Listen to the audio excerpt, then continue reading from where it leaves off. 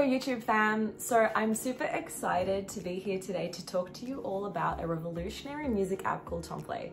So Tomplay reached out to me about sharing my thoughts and experiences with the app since I have been using Tomplay for the past several years with myself and with my students. Simply put, Tomplay is an interactive sheet music app that scrolls automatically on the screen with higher quality recordings.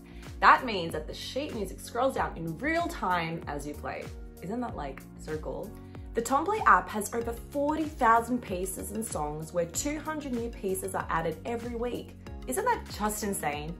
Tomplay offers interactive sheet music for 26 instruments plus music theory courses. You simply choose the piece that you would like to perform, download it, and then the magic starts. You can choose to play along with the recorded instrument plus accompaniment, just with the accompaniment, just with your instrument, and even without any backing track. What fascinates me the most about this app is of how versatile it is and for the fact that there are so many genres to choose from. For me, I switch between the classical music repertoire and the pop songs, which you most definitely already know about me if you watch my videos. Let's go over some of my favorite features of the app together. So first of all, the metronome. Playing with the metronome and practicing with it is, of course, as we all know, of crucial importance. Tomplay offers you an option to toggle with the metronome speed, all whilst keeping the sound quality of the accompaniment top notch.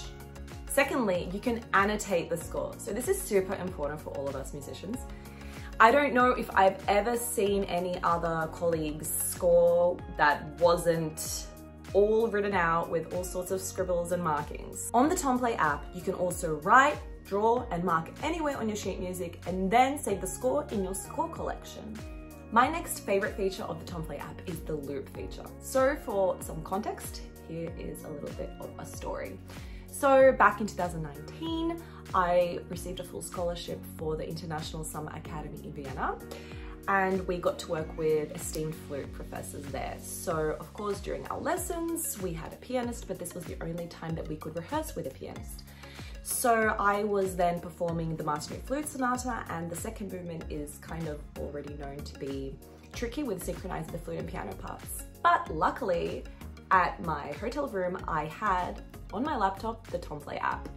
Thanks to the Tomplay app and the loop feature, that part I was practicing from the second movement actually became the easiest for me. And then when the day came to have the lesson with the professor and perform with the pianist, I had absolutely no problem since I was so used to playing with the piano part. So one of my students' experiences with Tomplay specifically inspired me. So this is a student that at the time was over 40, had a career and no music education prior to lessons with me. So they wanted to have uh, hold a concert for their family and friends, but since they didn't go to a music school, they didn't have a pianist, accompanist, or a fancy concert hall.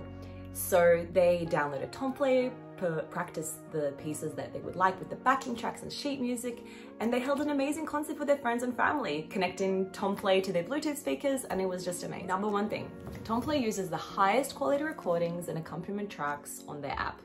There are no MIDI sounds, so MIDI sounds on certain apps and programs give me goosebumps but the bad type. To everybody, I mean, the versatility of this app is amazing. So from people who are just starting out to people who are getting their master's degree, they can all highly benefit from this app.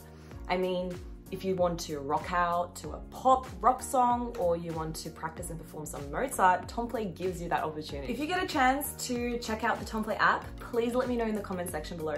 And also, if you have any questions regarding the Tomplay app that I didn't address in this video, don't hesitate to ask below and I'll try and get back to you. Bye!